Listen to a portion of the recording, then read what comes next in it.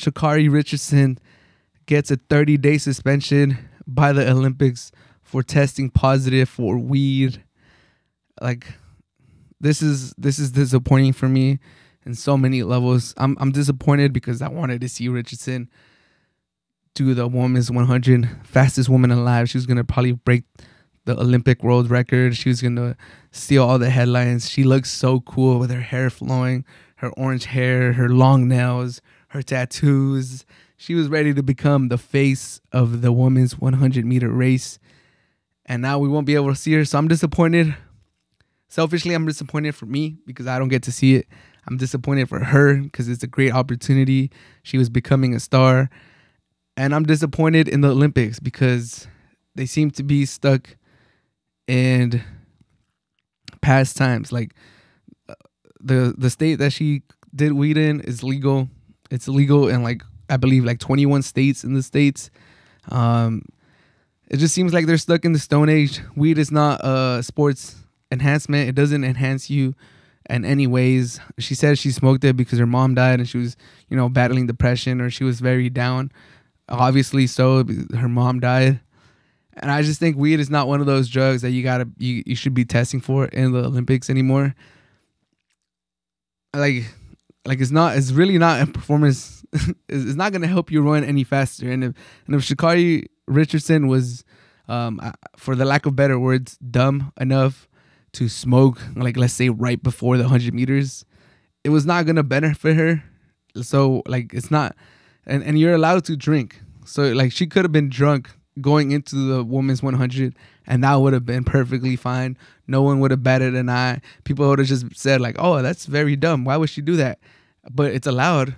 But like if she would have been high like and and all these scenarios are just crazy because it would have never happened. She like she was not running high. She just she got high off the court off the field off the track and field and she tested positive for it and now she's getting suspended and we're not going to see her in the hundreds.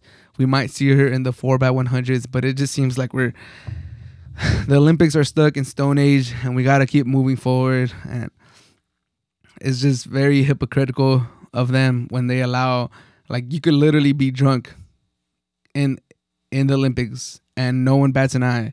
But she tested positive for weed and everyone's going crazy and they want to suspend her let her run let her run um but I'm just I'm I feel I'm I'm saddened by this. I know how much this meant to Sha'Carri Richardson, but I, I like the attitude that she's taking. She's going on to talk shows. She's giving her side of the story. She's saying like like it must be really really hard for her to talk about this too because she she keeps on having to talk about how sad her, her mom passing away made her and how she's been dealing with like that sadness and that realization that her mom is gone.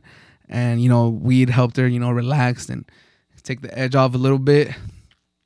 And now because she's in the spotlight and because this is happening she just have she just has to keep reliving those moments day in and day out. And she can't seem to get away with it. So i just for for her for richardson's sake i just hope she's she's she has a good support team i hope her team is behind her her family is behind her and i hope she's she's getting through. I know this is this must be really really hard on her like mentally, and I just hope her mental health is is good or it's not like deteriorating. I know it's hard. It's gonna be hard for it to be like amazing or just for her to be all super jolly and just you know think that everything is fine. But everything happens for a reason. I like the attitude that she has. She's already saying like and all these people that think they're perfect that are judging me you know good for you. I'm happy that you guys are, are perfect. I'm paraphrasing. She said something along those words. And she said i might not be you know the olympic champion this year but i am going to be the world champion next year when she does the the world competition for track and field.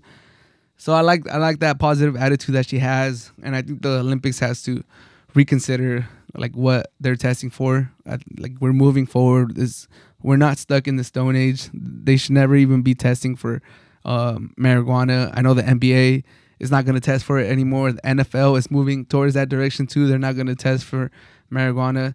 So I think that's just that's where we gotta we, we gotta start heading as like all all sports. We gotta start heading in that direction.